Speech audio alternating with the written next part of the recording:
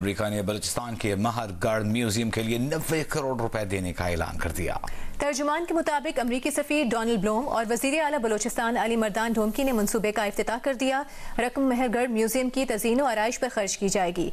इस मौके पर अमरीकी सफीर का कहना था कि बलोचिस्तान की सकाफती मीरास पर अमरीका की तवज्जो तारीख से गहरी वाबस्तगी का अज़म वाज करती है। अमरीका ने पाकिस्तान भर में सकाफती वरसे के तैंतीस मनसूबों के लिए अस्सी लाख डॉलर से जायद फंड मुख्त किए हैं।